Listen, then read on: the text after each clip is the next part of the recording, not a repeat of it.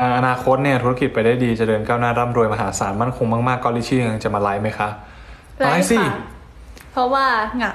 เออคือเรามาไลฟ์นี่เราคิดถึงเราไม่ได้แค่แบบว่ามาขายของหรือว่ามาหารายได้อย่างทุกเดีคนยวที่รักเรา เราก็มาเหมือนแบบมาพบปะทุกคนเรามาสร้างฐานขึ้นไปอีกมาสร้าง engagement มาเจอทุกคนเหมือนหลาย ๆ คนก็ยังไม่ได้รู้จักเราอะไรเงี้ยครับ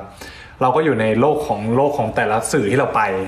นึกออกไหมครับวันนี้เรามาทำตรงนี้เราก็จะได้รู้จักคนมากขึ้น เพราะในเดี๋ยวนี้มันก็จะมีแพลตฟอร์มต่างๆเนาะที่ทำให้เราได้มาแบบ มีตัวตนมากขึ้นได้คุยกับทุกคนเพราะเดี๋ยวนี้มันโอ้ยเดี๋ยวนี้มันเราก็ไม่ไม่เขาเรียกว่าอะไร บางทีเจอกันในอีเวนต์ยากหรือว่าเจอกันใน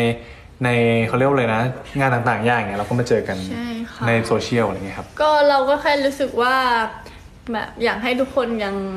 ได้ติดตามเรา มันเป็นอีกช่องทางหนึ่งที่เราได้มาพูดคุยแล้วก็มาเจอกันทุกคนจะได้แบบ หายคิดถึงเราอะไรอย่างเงี้ยใช่ไม่งั้นมันก็อาจจะแบบไม่ได้เจอกันนี่แล้ว